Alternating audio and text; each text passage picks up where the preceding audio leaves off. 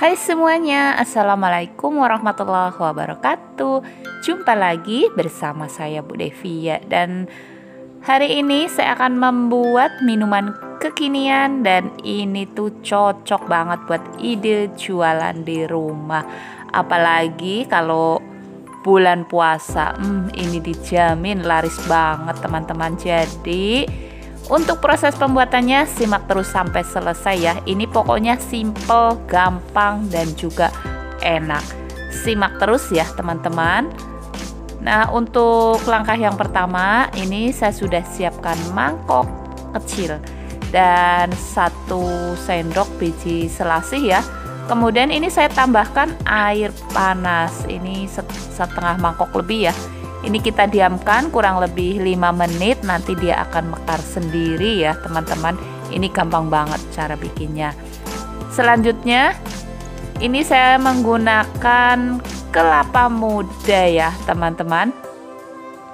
Ini tadi tuh saya dipetikin sama tukang kelapa ya. Kebetulan di sebelah rumah itu ada pohon kelapa saya nggak bisa petik dipetikin ya. Ini pas banget metiknya bagus banget apa mudanya ini pokoknya daging kelapanya tuh kelapa mudanya pas banget. Airnya juga sangat enak nanti akan saya gunakan juga. Jadi simak terus ya apa aja isiannya. Dan pokoknya seger banget. Ini kita kerik seperti ini ya. Ini saya menggunakan kerikan kelapa tapi teman-teman jika nggak ada bisa menggunakan sendok atau tutup botol minuman Sprite atau Fanta itu bisa teman-teman. Tapi ini saya menggunakan kerikan ini. Nah ini untuk kelapa muda yang kedua. Ini tadi goloknya itu nggak tajam jadi amburadul ya teman-teman. Pinggirnya itu lihat teman-teman tepesnya itu amburadul karena itu goloknya nggak tajam ya. Ini ini kelapa muda yang kedua ya. Nah untuk teman-teman yang sudah dukung terima kasih banyak ya teman-teman. Pokoknya terima kasih terima kasih Semoga teman-teman tambah sukses selalu, diberi kesehatan dan murah rezeki. Amin.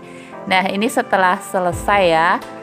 Kemudian ini saya gunakan air kelapanya ya. Ini tuh manis banget air kelapanya beneran teman-teman karena itu bagus banget. Saya baru petik banget dari pohon. Kemudian ini saya masukkan biji selasihnya. Itu air kelapanya saya gunakan 500 ml teman-teman. Saya tambahkan sirup melon ya ini yang marjan. Tapi saya tambahkan satu tetes pewarna hijau biar tambah manis ya teman-teman. Jadi cantik tuh. Satu tetes aja udah cukup kok. Nah seperti ini tuh warnanya kan jadi tambah cantik ya.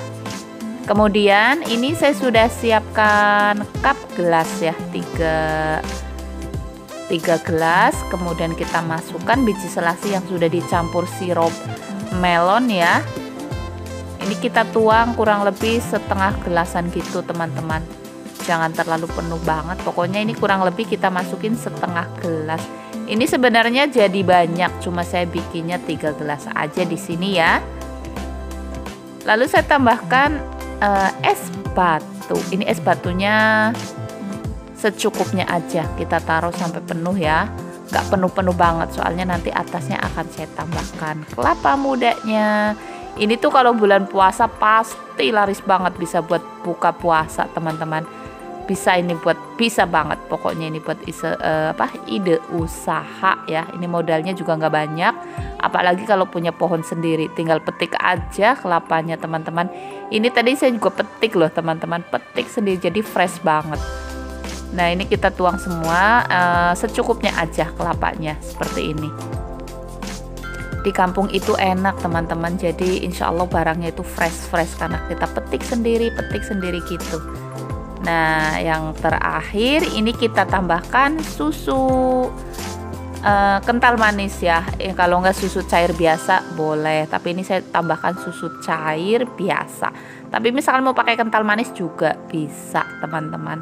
Enak sama enaknya. Soalnya sudah memakai sirup jadi sudah manis ya Oke, terima kasih banyak. Mohon maaf ya jika ada salah kata. Assalamualaikum warahmatullahi wabarakatuh.